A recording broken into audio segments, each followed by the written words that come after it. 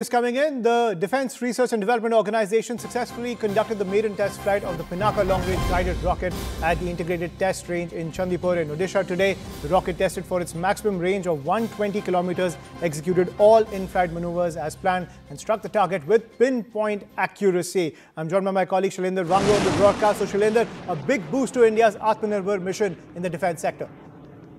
Yeah, absolutely. The successful maiden flight uh, test of the LRGR-120 marks a major leap in India's precision strike capability. Uh, with a proven range of 120 kilometers and high accuracy, the test shows that India can now engage high-value targets deep inside enemy territory with far greater precision than earlier unguided rockets.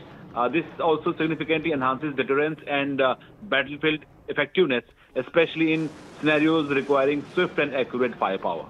Right. Thank you, Shailendra Wangu, for joining us on the broadcast and getting us that update from the defense sector.